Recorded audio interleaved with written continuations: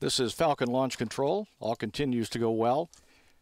Standing by for the final poll. Once Falcon lifts off at 3:25 p.m., the first stage engine will burn for about 2 minutes and 41 seconds, followed by staging, and the second engine will start at uh, 2 hour 2 minutes 45 seconds into flight. Uh, about 3 minutes and 52 seconds after liftoff, the Dragon nose cone will be jettisoned after the spacecraft uh, successfully goes through the heavy portion of the atmosphere.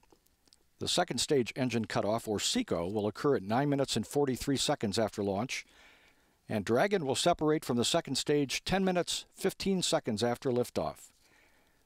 That'll be followed about 7 seconds later by the deployment of the PicoSats and the solar array deployment 12 minutes after liftoff.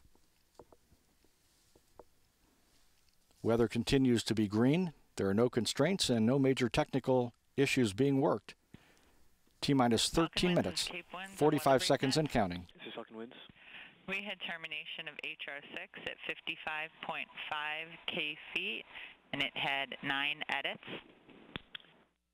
Okay, T minus 13 minutes. All stations verify ready for launch. FTS. FTS go. Prop.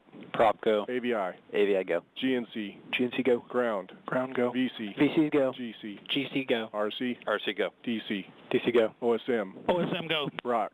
Go. CE. Go. MD. MD go. LD. LD go. LD verify go to initiate terminal count. LD go for initiate terminal count.